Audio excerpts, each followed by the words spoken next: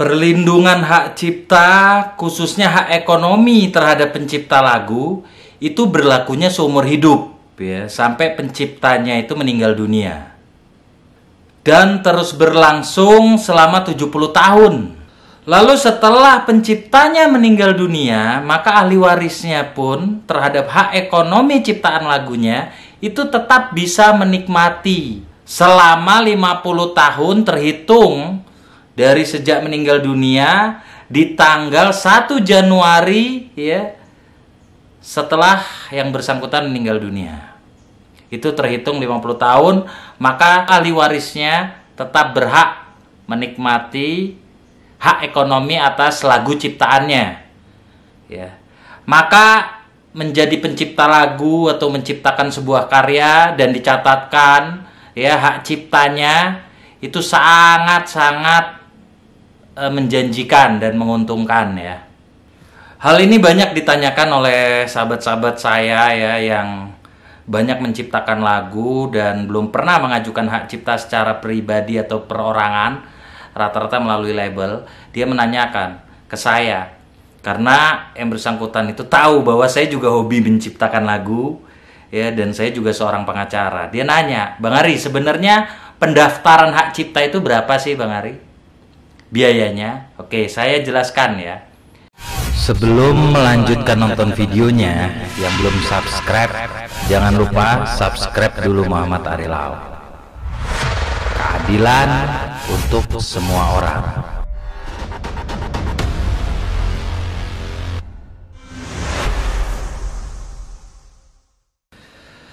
Assalamualaikum warahmatullahi wabarakatuh, sahabat-sahabat Muhammad Arilau. Dalam era saat ini, sebuah karya itu tentunya harus dihargai, baik hak ekonomi maupun hak moral, dan diatur di dalam Undang-Undang Hak Cipta. Maka di video ini saya memberikan edukasi berkaitan dengan seputar Undang-Undang Hak Cipta, khususnya hak cipta atas lagu ciptaan seseorang. Lagu itu sebagai hak ciptanya itu dilindungi. Perlindungan hak cipta di Indonesia sendiri itu diatur dalam Undang-Undang Nomor 28 Tahun 2014 tentang hak cipta.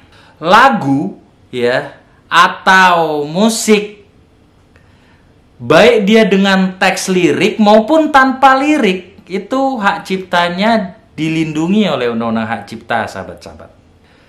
Sementara hak cipta sendiri ya itu adalah merupakan hak eksklusif ya, hak moral dan hak ekonomi. Perlindungan hak cipta sendiri di dalam sebuah lagu ya, khususnya hak ekonomi ya, royalti ya, atas ciptaan lagu tersebut berlaku seumur hidup atau selama hidup penciptanya. Dari sejak ciptaannya itu itu dipublis dan terus berlangsung selama 70 tahun. Lalu setelah penciptanya meninggal dunia, maka ahli warisnya tetap dapat menikmati hak ekonomi. Hak moral ya, eksklusifnya itu selama 50 tahun terhitung sejak penciptanya meninggal dunia ya di tanggal 1 Januarinya. Di tahun itu dihitung terus 50 tahun. Itu ahli warisnya tetap dapat menikmati royaltinya. Bagaimana melakukan pencatatan hak cipta sebuah lagu? Pencatatan itu dapat dilakukan untuk mengajukan permohonan pendaftaran kekayaan intelektual untuk hak ciptanya dan dapat dilakukan secara elektronik melalui sistem informasi kekayaan intelektual ya di laman resminya Direktorat Jenderal Kekayaan Intelektual DJKI ya. Namun apabila terjadi gangguan informasi kekayaan intelektual ya di sistem elektroniknya maka tetap bisa dilakukan juga secara manual untuk dilakukan permohonannya secara non elektronik. Lalu Bang Ari, apa saja sih prosedur pencatatan secara online itu? Prosedur pencatatan hak cipta pada dasarnya sama untuk semua hak cipta atau semua jenis ciptaan. Yang berbeda itu adalah bagian lampirannya, ya. Apa yang mau diajukan pencatatan hak ciptanya itu. Dapat dilakukan oleh perorangan yang menciptakan langsung ya maupun badan hukum. Contoh ya, contoh. Apabila saya menciptakan lagu lalu eh, saya tidak mengajukan secara perorangan melainkan saya memilih label ya, label musik, publisher musik ya, agregator musik untuk mendaftarkan ya. Maka saya mengikatkan diri kontrak dengan yang bersangkutan. Nanti badan hukum itulah yang mendaftarkan. Di mana hak ciptanya tetap dipegang oleh pencipta lagunya. Untuk musik sendiri ya sahabat-sahabat uh, atau saya uraikan ya secara luas saja ya apa saja lampiran permohonan untuk mengajukan hak cipta itu jadi yang harus dilampirkan oleh sahabat-sahabat itu adalah rekaman musiknya dalam format MP3 itu disiapkan ya.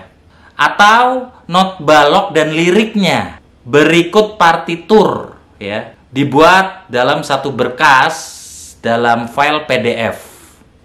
Hal ini banyak ditanyakan oleh sahabat-sahabat saya ya yang banyak menciptakan lagu dan belum pernah mengajukan hak cipta secara pribadi atau perorangan rata-rata melalui label, dia menanyakan ke saya karena yang bersangkutan itu tahu bahwa saya juga hobi menciptakan lagu ya dan saya juga seorang pengacara. Dia nanya, "Bang Ari, sebenarnya pendaftaran hak cipta itu berapa sih, Bang Ari?" Biayanya. Oke, saya jelaskan ya. Ya, di bagian laman dan ini mungkin bisa saja berubah atau bisa saja ada perubahan. Tapi uh, itu bisa sahabat-sahabat cek ya di laman resminya hak kekayaan intelektual ya. Untuk badan hukum dan perorangan sendiri itu biayanya berbeda sahabat-sahabat. Untuk badan hukum ya yang masih kecil lah ya.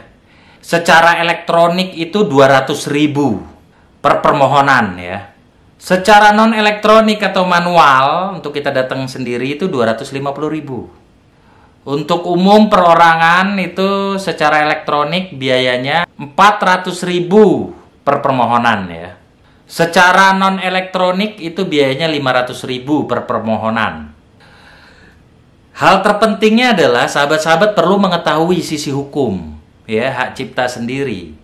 Bahwa pencatatan ciptaan lagu itu bukan merupakan syarat untuk mendapatkan hak cipta.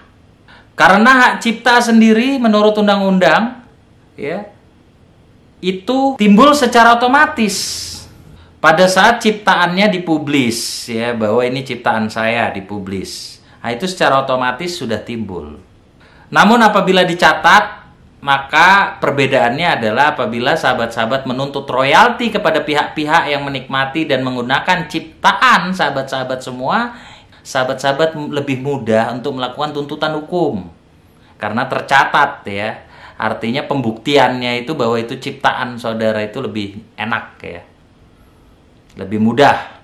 Pencatatan hak cipta itu sendiri manfaatnya itu antara lain sebenarnya antisipasi adanya pihak lain yang menggunakan tanpa izin lalu yang kedua antisipasi timbulnya perselisihan dengan pemegang hak cipta itu sendiri.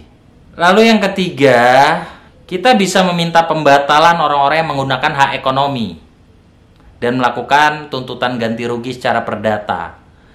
Ya, di luar dari sanksi-sanksi ya, ketentuan administrasi dan pidana di Undang-Undang Hak Cipta itu sendiri terhadap pihak lain yang menggunakan tanpa izin atau dia melakukan hak ekonominya tanpa hak. Oke, Ikuti terus channel ini agar mendapatkan keadilan karena keadilan untuk semua orang. Semua orang berhak mendapatkan keadilan. Assalamualaikum warahmatullahi wabarakatuh.